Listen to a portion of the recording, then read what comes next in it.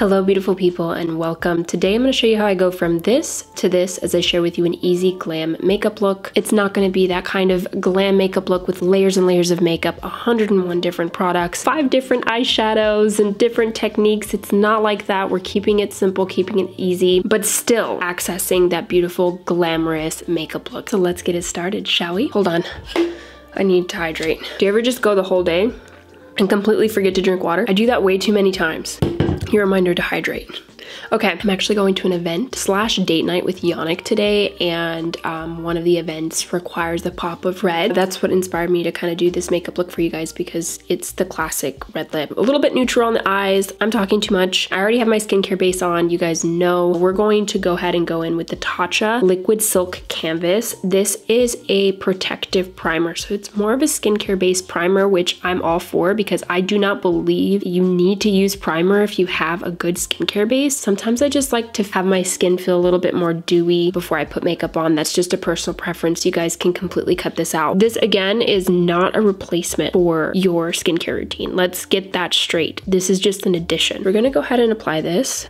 It works great in conjunction with my skincare base. Again, personal preference, but this is a really good skincare base primer if you have to use a primer, if you feel like you need to use a primer. I didn't even apologize for my hair. I have it pin curled. I don't even know how it's gonna look. I haven't pin curled my hair in forever. I'm going to take it out at the end of this video and share with you guys what it looks like because I don't know what it's gonna look like. Let's get into the foundation. We're gonna use the Giorgio Armani Luminous Silk Perfect Glow Flawless Foundation. This is one of my favorite foundations right now now for a glam look because it's really light yet has good coverage. I'm in the color 6.5. We're gonna go ahead and show you guys what it looks like.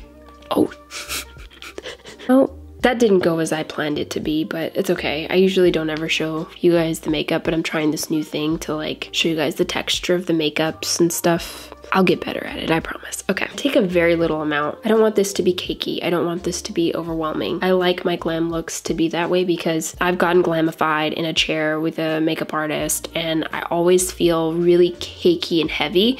And yeah, the makeup looks good on camera, but it kind of looks scary in person. So I like to do a combo where you look good on camera, but you don't look scary in person. I'm gonna take the Sigma Soft Coverage F48 brush and we're gonna blend this in. This has become my favorite brush lately because because of how soft the coverage is. I love how it blends and it just makes every makeup that I put on my face look flawless. It almost has like an airbrush finish. I've tried this brush with so many different makeups, BB creams, just everything, and it always makes it look so flawless. I'm gonna go ahead and start on the brows. You guys have seen me do brows a lot. It's the Benefit Precisely My Brow Pencil, and it's in the color 4.5 little bit lighter than what I usually go for, but at least the product is buildable. Brushing them up as I go along, I feel like that looks really good for coverage. I'm gonna go in with the Benefit Brow Gel. The verbiage is completely erased on this thing, so I don't really know what it's called. I don't know what shade I'm in, probably either 5 or 4.5, but it's the little gel that comes in here. It's tinted. It's just gonna help the girls stay in place and add a little bit more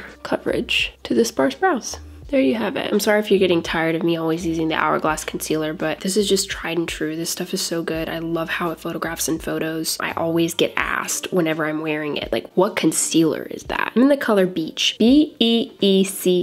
Has such a good consistency. It's the perfect glam makeup concealer because of its coverage. The way that it sets off the face, you guys will see. I'll show you because, I mean, I don't even have to talk this up. I'm doing a definer brush to define my brows and I'm using the concealer, kind of like the the excess of the concealer over here. Sometimes I'll take it from my eyes, but today I wanted to take it from the tube. Clean them up because that is absolutely essential for every makeup look for me. Just something I have to do every time. Lightly over here so it doesn't look too boxy, but just enough. I'm actually going to add some of the concealer. I missed this part.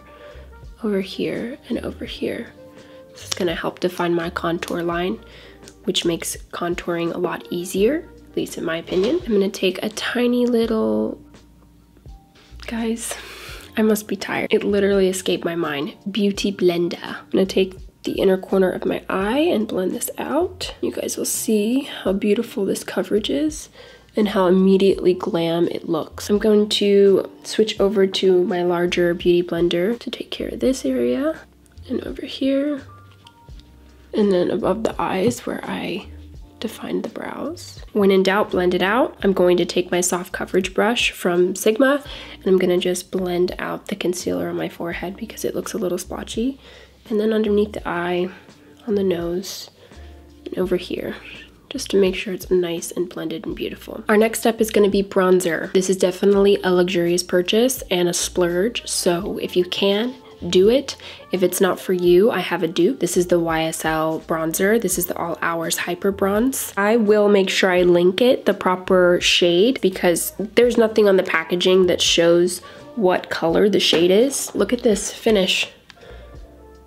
It's beautiful. Much as I do love this one, I'll show you guys the OG, which is Sigma, and I think it has also, I mean, I've used this a lot. This is a little lighter because it's um the medium matte bronzer. I usually, I don't know where my dark one went. There you go. That's a little bit more of a comparison. This is also a matte bronzer. This one is a little bit richer, as you can see, but honestly, I feel like this one has a little bit more pigment. We won't go into a, too much of a deep dive on the two bronzers, but I feel like they're very comparable to each other because they're matte bronzer. We're gonna take the soft angled cheek brush from Sigma, the F43 brush, lightly pat this in and we're going to, in circular motions, kind of blend this bronzer out. I've said this before in other videos, but I'll say it again. Whenever I'm doing a glam look, powder is my friend. I love powder versus cream products because I just feel like it captures differently in photos and it stays on a little bit longer and it's more precise because with a cream bronzer, it's less precise. It's more melted and blended into the skin, which is also really beautiful. But this is so precise it makes it look like movie makeup, uh,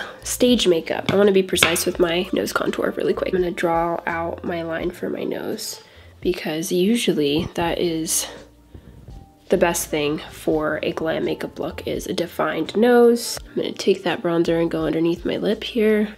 Cupid's bow, Cupid's bow bold.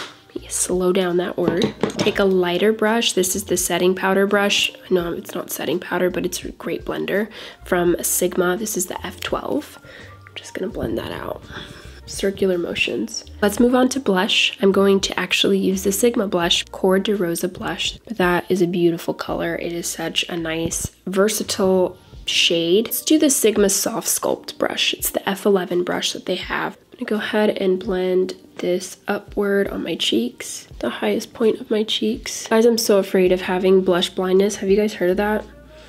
I probably have it. Put this up top here to unify the makeup look. Blush is done, let's go into the highlight. I'm gonna use the Patrick Ta Daddy highlighter. This is so complicated to open. Like why? Why? That's the only thing I don't like about it. Some people really love that, but to me it's just like a little bit annoying. I'm gonna take this brush that I got from an Urban Decay palette years ago because it's my favorite highlighter brush, especially for under my brows. I'm gonna lightly go underneath there. This gives an iridescent look, and I don't know if it catches on the camera. It's really beautiful. Very subtle though. I use that on my small parts a moment of silence for the single lash that came from who knows where taking the Sigma High Cheekbone Highlighter F03 brush to go ahead and do the high cheek part of my highlight. I don't know if you can see that. You see the iridescent on this side? Now my friends, let's go into the eyes. We're done with the face makeup. I'm gonna use the Giorgio Armani eyeshadow stuff. I, it doesn't have, doesn't have a name this is what it looks like. I'll, I'll link it. I can't remember what the specific name of this product is, but it is a eyeshadow, a liquid eyeshadow. And I love this for when I'm in a rush, on the go. I want to look glamorous, but I don't have the time to like focus on my eyeshadow. It's like one and done for me. I don't have to do anything else. I'm going to use the tapered blending brush, the E40 brush from Sigma, and I'm going to go in with the Too Faced palette. This is Born This Way, the Natural Nudes. This is an essential palette to have. This reminds me of the Makeup palette, which I have some sad news. I had to throw it away. Guys, I had to throw my Makeup Revolution palette away. I'm so, so terribly sad about it. I should just go out and buy a new one because I know a lot of you guys have that palette because I talked about it and it is, it's a staple. It's, it's amazing. I love the browns. I love all the shades in there, but my baby girl got to it she got to it and you know how it doesn't have a case on it i don't know if you guys remember but i broke the case and it has been just open. I had it one day just laying around um, in my makeup pile and she got to it and her little fingernails got all into the makeup and it was a fun mess to clean up, especially on carpet. But Until I get a new one, I'm going to use this palette, which I feel like is a great dupe or not dupe because it's more expensive, but it's definitely an essential, a high-end essential palette because look at all these colors. You've got an array of different types of nudes and that is exactly what you need. Like you need to have this palette, especially if you're a beginner.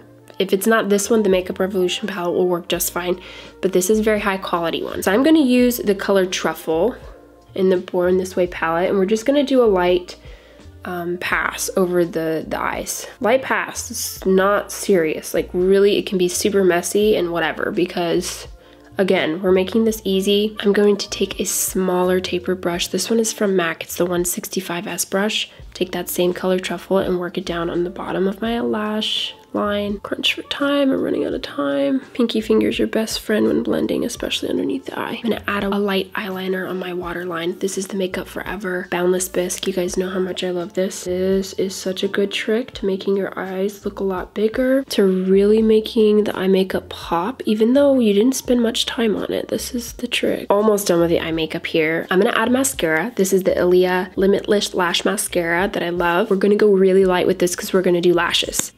We're gonna do false lashes. There we go. Just gonna do a little bit of a base. Definitely going heavier on the bottom because I don't want it to look off balance.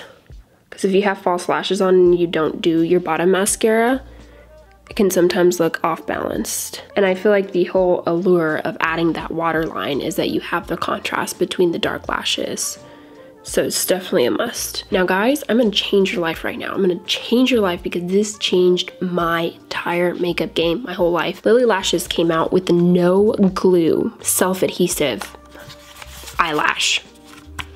No glue. You just stick it on your lashes and it stays. I have worn these so many times and they've stayed all day long. It's revolutionary, it's amazing. I didn't even know this kind of product existed until they sent it to me and now I'm obsessed. So gonna change your life. You're welcome. This is the best thing you can do for a simple and easy glam look. So I feel bad because I threw away the box of these particular lashes. I'm wearing these ones. These ones in the box are a little bit thicker and bigger than I'm used to wearing for my um, eye shape. I'm gonna find out what these lashes are called for you. These ones that I'm showing you, maybe you like a little bit more drama in your life. They're still self-adhesive, but they're the moneymaker ones. I'm just gonna literally stick it on my lash and it's gonna stay all night long. Hold on. Hold on. Watch this. Promise you, I did not think this was gonna work. When I first tried them, I was like, what is this? And then I applied them and they worked like a charm. No glue needed. No glue done. And they're not like one-time use. It's usually after you use them once, you heat them up with the blow dryer and reapply them. Which to be quite honest, I didn't even do that this time and they're still sticking. So now to blend them out, I'm gonna go ahead and add that mascara on top just to make sure they're nice and blended and it looks fluid and not so fake. That is it for that makeup look. And usually I'd add a wing, but I'm kind of really digging this more minimal type glam look and let the lashes do the talking. Now we're gonna go ahead and go in with lips. Favorite red lip combo ever. But it's tried and true. I love it. I love how it lasts me a long time. It feels good. It looks good. It's a great shade. They've done so well with this. I'm gonna use the Stila Stay All Day liquid lipstick in the color Beso. This is my favorite. You guys know I talk about this. If I'm gonna wear wear red lip. It's between this one and the Fenty one, but this one stays on longer than Fenty. It really does, but I do like the Fenty shade a little bit better. So it's kind of a toss up for me. So I'm gonna go ahead and take the Plush Puddin' Intensive Recovery Lip Mask from Fenty Skin. Kind of just dab that on. I'm gonna go ahead and go with the Red Carpet Red Lip Cheat from Charlotte Tilbury. This is just to help me line my lips ever so lightly. I'm not gonna bow out my lip like I usually have done because I'm finding that by doing this, it gives the appearance of a larger lip instead of limiting my lips by bowing them out or like following the cupid line. I'm gonna go ahead and take the Stila. Look at this red. Look at that red. It's criminal. All right, beautiful people, we are just about set. Look at this. It's just I love it. I love this look so much. It's tried and true. I'm going to, wait, I'm talking like I'm done. Setting spray. If I'm eating or do, drinking or anything, I have to take this with me. So I will take this with me along with a blotting powder in case I get oily. This is my Easy Glam makeup look. I hope you guys enjoyed it. I hope you guys found this video helpful. It's very reminiscent of like old Hollywood vibes. Um, let me show you guys what my hair looks like when I take it out because that's the final test. we'll see if it looks good. Okay, those look good. I did this with my Conair wand. Super easy. And then I just pinned them up with bobby pins. Again, I haven't done this in so many years. Gotta do this with the makeup look. It just, it fits. She behaved today. I'm so proud of her. It's always a hit or miss whenever it comes to, I feel like, doing pin curls. Let me just fan it out a little bit. You like it? I'll fix it. But for now, that's all I'm gonna share with you guys. Again, thank you so much for watching. I hope you enjoyed this video. If you did, make sure you give it a thumbs up. And don't forget to subscribe so you don't miss out on any more videos like this. Thank you guys so much for all of your support and I look forward to seeing you in the next video. Bye!